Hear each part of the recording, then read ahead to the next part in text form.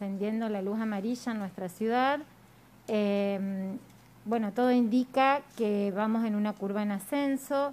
Eh, tenemos una progresión hoy del conteo de ayer, de las 24 horas de ayer, de 24 casos, que se ha, eh, si ustedes comparan lo que fue la semana anterior, de lunes a domingo tuvimos 51 casos y de esta semana, de lunes a jueves, llevamos 49 casos.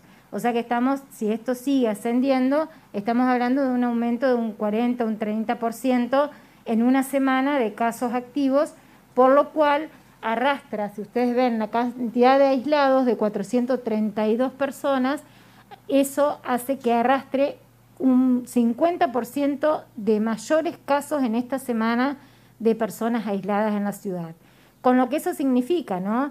Disminución laboral, estar aislado en su domicilio, eh, bueno, toda esta situación de, em, que impacta económicamente en las familias, por lo cual eh, nadie quiere estar aislado, así que la mejor conducta es cuidarse.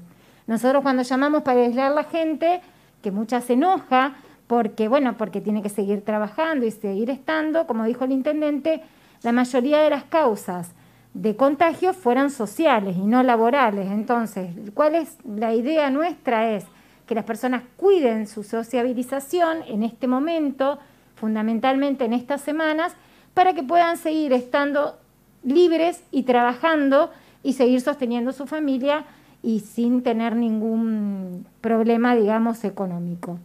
Eh, la cantidad de internados, como verán, ha ascendido. En el día de ayer hemos tenido cuatro, uno está en terapia intensiva, otros tres en, médica en la sala de clínica médica con buen estado de salud dentro de lo que, digamos, la patología de neumonías eh, conlleva.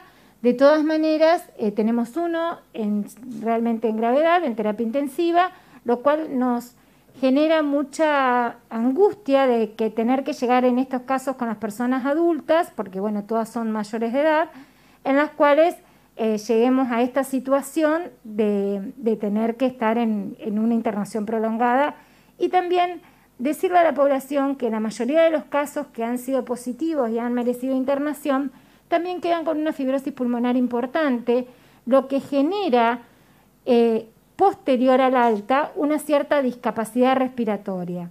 Y eso es importante para tener en cuenta porque no es tener COVID y me voy a mi casa y me curé el 100%, sino que puedo generar una discapacidad respiratoria por largo periodo de tiempo.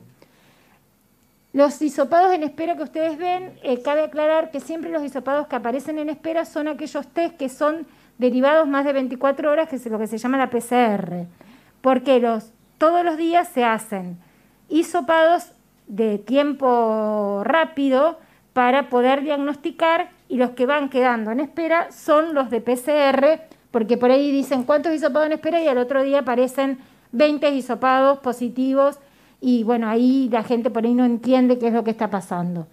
Y bueno, y desde el inicio de la pandemia tenemos 315, que para nuestra población no es un dato menor. ¿eh? O sea, comparado con Rosario o comparado con Santa Fe, extrapolando la cantidad de población, estamos hablando como que tuviéramos 300 casos en Santa Fe o 700 en Rosario. Así que es alarmante, es una luz amarilla y le pido por favor que tomen una conducta de cuidado, sobre todo en las reuniones sociales, y con máxima protección.